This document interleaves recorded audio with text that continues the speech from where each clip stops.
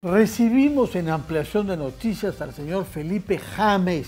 Él es presidente de la Sociedad Nacional de Industrias y acababa de desembarcar en China, país que visitó como parte de un grupo de dirigentes de gremios empresariales, 16, 17, que hicieron el viaje a China junto con la presidenta Dina Boluarte y cinco de sus ministros.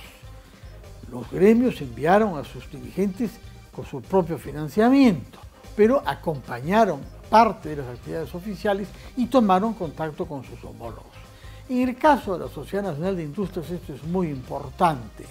En primer lugar, porque ellos pretenden que las exportaciones a China se diversifiquen y no sigamos dependiendo desproporcionadamente de las exportaciones mineras.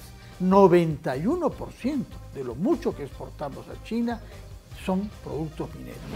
Y en segundo lugar, porque la Sociedad Nacional de Industrias tiene un tema persistente que eh, busca la creación de zonas económicas especiales, se llamaban antes zona franca, como la que se creó en Tacna, como la que se quiere crear en Chancay, en algunas zonas de la selva peruana, con beneficios tributarios para atraer inversiones específicas en función de un plan de desarrollo industrial el señor James sostuvo que en la ciudad de Shenzhen, creada a través de este mecanismo de zona económica especial cerca de Hong Kong, hay una prueba irrefutable del éxito que esta iniciativa tuvo en China. Claro, la República Popular quería contrapesar el auge que había tenido Hong Kong, que durante más de 100 años estuvo bajo dominio británico, que fue entregado a, fines de los años 90 de vuelta a la República Popular.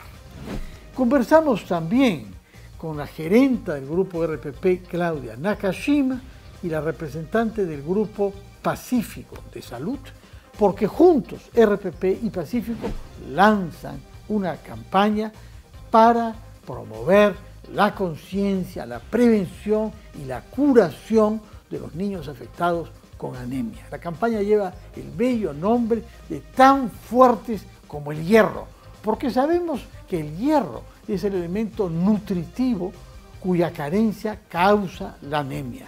Y en consecuencia, RPP estará comprometida en los próximos meses junto a Pacífico para difundir, para tamizar y para tratar de recuperar a los niños que hayan adquirido esta enfermedad, que es una enfermedad grave para ellos ahora, pero duraderamente grave porque limita el desarrollo cognitivo de los niños.